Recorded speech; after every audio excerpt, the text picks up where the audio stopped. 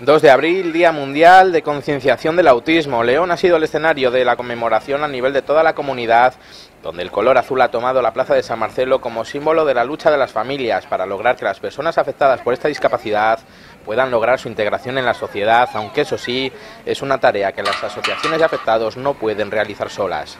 Recuerdo muchos chavales de los nuestros que, que ni por asomo pensaríamos que pudiesen comunicarse eh, de forma fluida con su entorno, hoy muchos se están comunicando perfectamente a través de signos, a través de imágenes, a través de pictogramas, algunos hablan.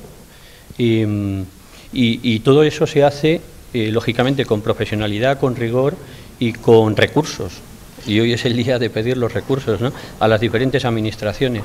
La Federación Regional de Autismo de Castilla y León pide a la Junta que elabore un plan estratégico y concreto para favorecer la detección precoz de esta discapacidad y poner en valor los talentos y capacidades que a pesar de ello mantienen los afectados.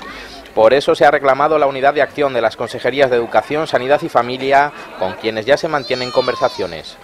Las relaciones son cordiales y, los, y las reuniones de trabajo son cordiales. ¿no? Y nos encontramos con el impedimento de la situación actual que económicamente el tema está fastidiado. ¿no?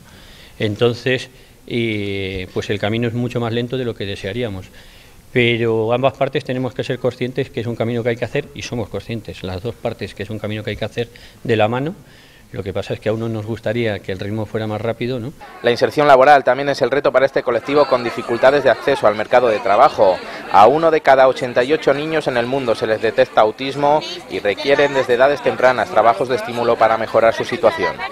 Que el Ayuntamiento de León está con los ciudadanos, está con aquellos ciudadanos también que más nos pueda necesitar en cada momento.